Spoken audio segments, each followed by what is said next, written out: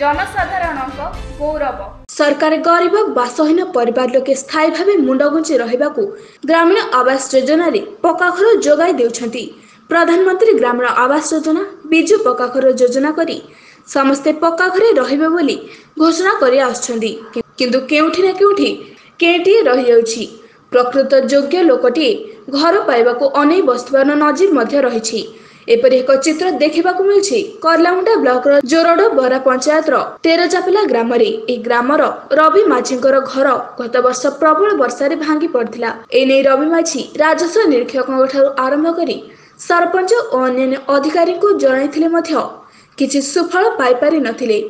ଘର ସଜାଡ଼ିବାକୁ ଅସମର୍ଥ ରବି ତା ସ୍ତ୍ରୀ ପୁଅ ବୋହୂ ନାତି ସହ ଗାଁରେ ଥିବା ଲକ୍ଷ୍ମୀ ମଣ୍ଡପରେ ରହୁଛନ୍ତି।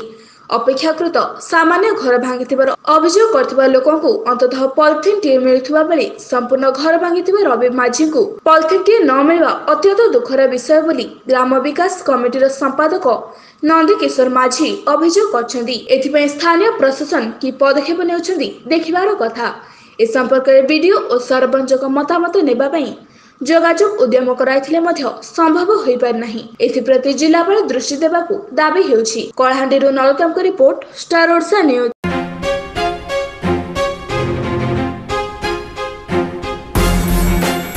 ଆମ ଚ୍ୟାନେଲକୁ ଲାଇକ୍ କରନ୍ତୁ ସେୟାର କରନ୍ତୁ ଓ ସବସ୍କ୍ରାଇବ୍ କରନ୍ତୁ ଓ ବେଲ୍ ଆଇକନ୍କୁ ଦବାଇବା ପାଇଁ ଭୁଲନ୍ତୁ ନାହିଁ।